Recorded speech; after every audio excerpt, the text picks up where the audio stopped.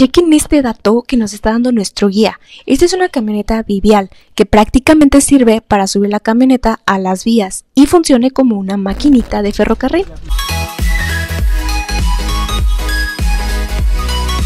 Amigos, hola, ¿cómo están? Bienvenidos. Amigos, hola, ¿cómo están? Bienvenidos a otro nuevo video. Yo soy Pau Velázquez y bienvenidos al canal. Nos encontramos otra vez en la ciudad de Querétaro. Esta vez vamos a conocerla, vamos a ver qué tanta historia tiene y vamos a tomar un carrito que se llama Las Diligencias. Vamos allá. ¿Ya vieron nuestro nuevo vehículo? ¿Qué tal? ¿Les gusta? Bueno, pues hoy nos van a acompañar a un recorrido por Querétaro. Así es, otra vez estamos aquí en Querétaro. Vamos a ver qué nuevas cosas nos trae esta increíble ciudad. Así que súbanse, acompáñenme.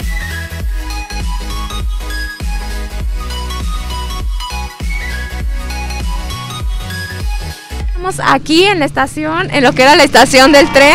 Y pues vean, este edificio pues es inglés. Y como pueden ver, estamos aquí afuera de un patiecito donde nos cuentan que antes aquí pues se ponían a vender de todo, era comercio tipo una pulga donde vendían que guajolotes, que gallinas, todo ese tipo de cosas. Y pues obviamente veces la gente iba, se formaba esta, como pueden ver, esta es una puerta de las de primera clase y pues las personas iban y que se formaban, esa es la de segunda clase, una clase más económica y pues aquí se subían a los animales o todos los que traían sus mochilas, bueno, no mochilas, en ese entonces yo creo que eran como bolsas con animales o sus pertenencias, ¿no? La antigua estación de ferrocarril de Querétaro nos transporta al siglo XX. Es considerada un ejemplo de la infraestructura ferrocarrilera mexicana.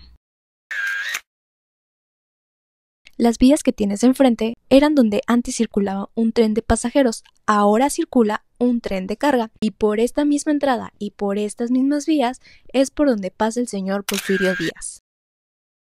Otro dato es que aquí en la, en la de clase alta tenían sillitas para esperar pues al tren para que no se cansara, lo cual no contaba lo de la clase económica o clase baja. A seguir acá recorriendo. Chequen este dato que nos está dando nuestro guía. Esta es una camioneta bivial que prácticamente sirve para subir la camioneta a las vías y funcione como una maquinita de ferrocarril. ¿Acaso tú sabías este dato?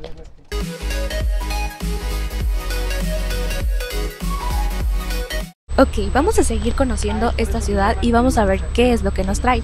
El primer monumento que veremos es Ignacio Pérez, mejor conocido como el mensajero de la libertad. Él cabalga desde Querétaro hasta San Miguel de Allende. Este señor que ven aquí fue el señor que se encargó de llevar el mensaje.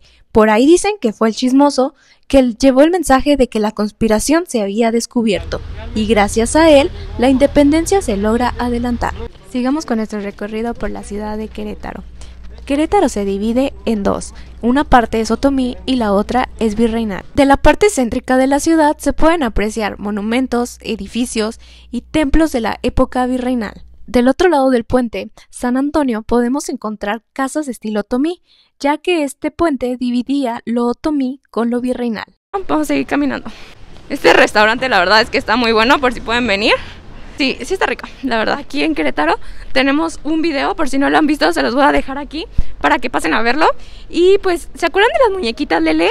De hecho, aquí les voy a poner un pedacito del video. Con algodón. ¿Todo es algodón? Es puro algodón. Hilo, ¿verdad? Hilo. Ah, miren, aquí hay una, de hecho. Esta muñequita, ¿ustedes sabían que su nombre en otomí significa bebé? Yo no sabía ese dato. Amigos, bueno, pues acabamos de concluir este video. Espero que les haya gustado. Si les gustó, regálenme un like. No se les olvide comentar a qué otros lugares quieren que visitemos. Y pues la verdad es que fue un viaje express. Es lunes y ahorita todo está cerrado. Pero pues espero que les haya gustado el video y nos vemos en el siguiente video. Ah, por cierto, les dejo las redes sociales de las personas que nos atendieron y a donde nos subimos para que ustedes si tienen ganas pues también vayan. Y muchas gracias, yo soy Pau Velázquez y nos vemos en el siguiente video.